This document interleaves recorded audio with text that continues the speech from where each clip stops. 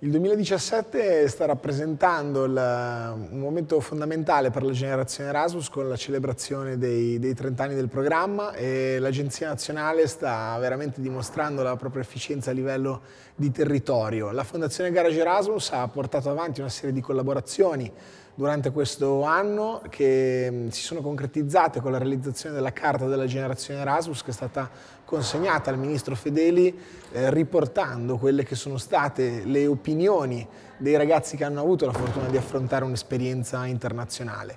Eh, come fondazione abbiamo cercato poi di ripartire da quelli che sono stati gli ottimi risultati a livello italiano, anche a livello europeo. Il 30 di novembre presenteremo a Bruxelles insieme alla Commissione i risultati di un processo che ha coinvolto tutte quante le nazioni coinvolte nel programma Erasmus per dare i suggerimenti per quella che sarà la stesura del nuovo programma Erasmus che inizierà nel 2020. Eh, questi sono i buoni esempi che dobbiamo portare all'estero,